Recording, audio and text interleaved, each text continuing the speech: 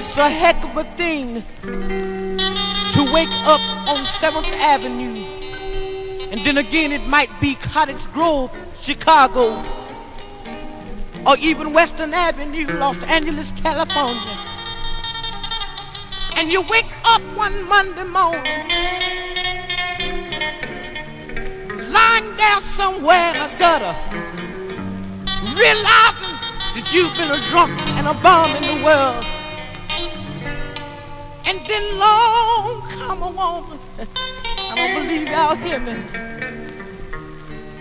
I said, long come a woman, bringing love and understanding and constellation into your life.